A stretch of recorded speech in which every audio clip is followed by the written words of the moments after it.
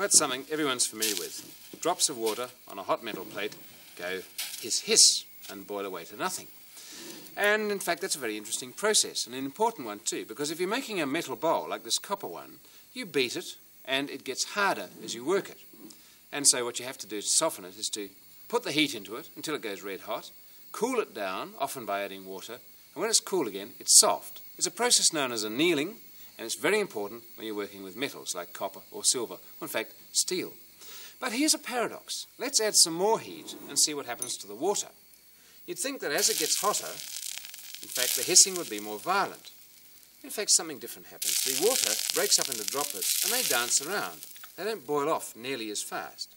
They're active, but they stay active as little droplets.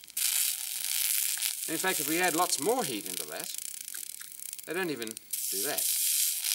They start to become quieter until when the plate is really hot, they just stay as little clear droplets of water, sitting there like jewels and hardly moving at all. Well, surely that's impossible.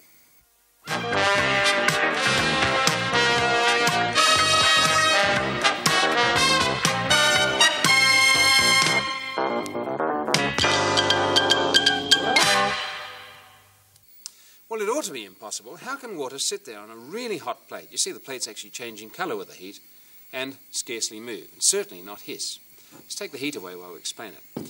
What's happening is that the plate is so hot that the water closest to it is forming steam.